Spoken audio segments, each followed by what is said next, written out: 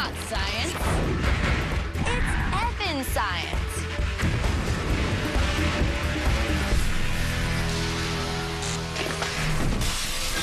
The dictionary defines science as the methodical investigation of the natural world around us.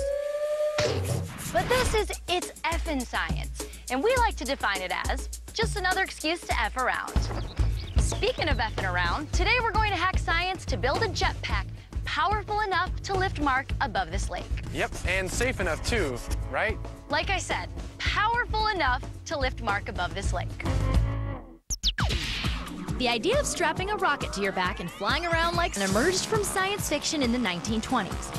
But the first practical flight tests weren't until the 1960s. Jetpacks have rocket engines that use hydrogen peroxide or jet fuel to create controlled explosions.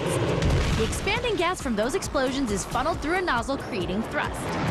But today we're going to get our thrust from a different source a fire hose. Now this is our hydro jetpack. The main muscle of the jetpack is actually on the back.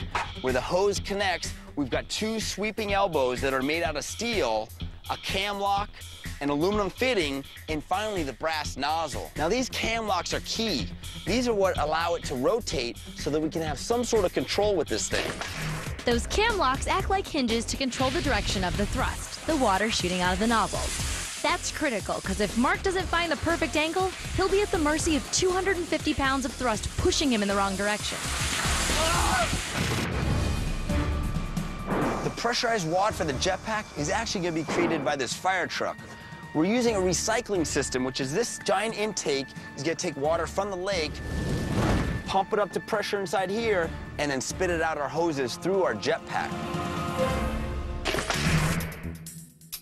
Time to suit up, Mark. Put this thing on or get in it. You know what, man? I have been in so many of your prototypes.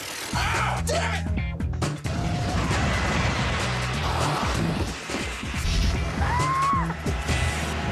I do not trust you, man. What? I think you should do it Come first. on, this is solid. Chad, is this seatbelt just like taped on? Come on, it's homemade. Yep, nothing builds more confidence than duct tape on a jetpack, dude. I don't know, Chad. I think you should try first, too. All right, I'll do it. I'll go, and if it works, you're next. Let's trust that you believe in your invention. Okay. You look like a total. This is the most dangerous stunt we've ever tried. So for this one, we've brought in some stuntmen. They're going to be in the water with Chad because he's going to have 80 pounds of equipment on his back and 250 pounds of water pressure shooting out of it. If he goes under, he could drown. So they're just here to make sure that nothing goes horribly wrong. He looks like Iron Man, doesn't he? Yeah, but Chad's nowhere near that. No, Chad is no Tony Stark.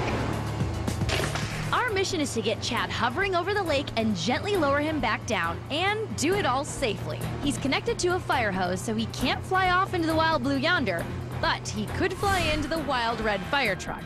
We have two safety lines attached to him in case that jetpack goes ballistic.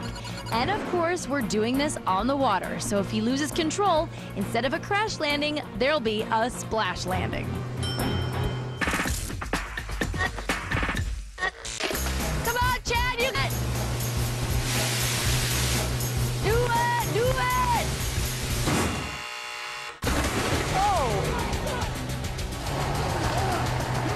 Seems a little crazy. Oh, I'm not doing you're this. not in that thing? Nope, I'm not doing this, man.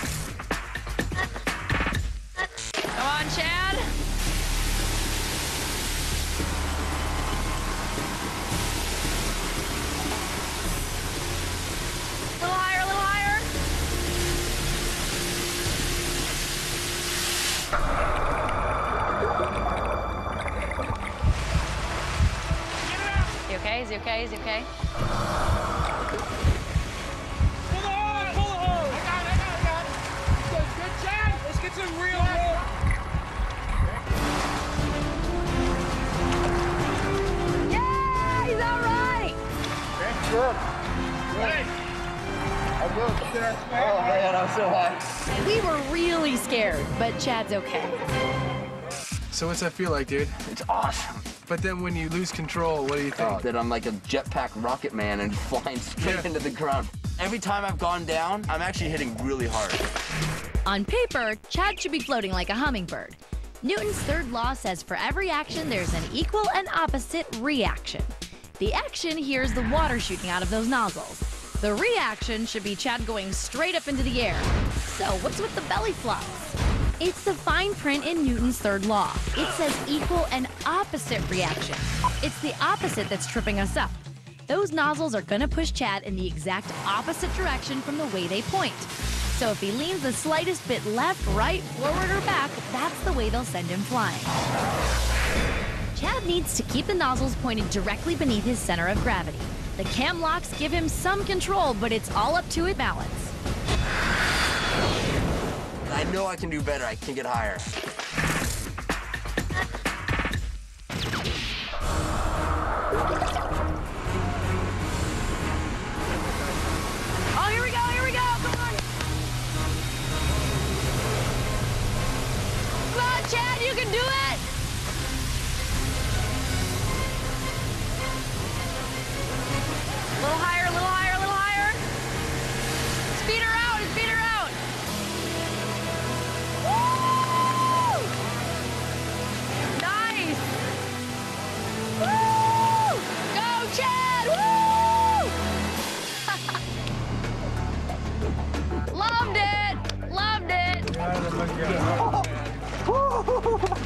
Dude. You were up. Oh. Okay, Chad, seriously, how beat up are you right now? Oh. Here, let me get Take that. out the helmet, dude. God. Oh, dude, it's your turn. No, no, no. I don't want to uh, die and hit the So dot. No way, dude.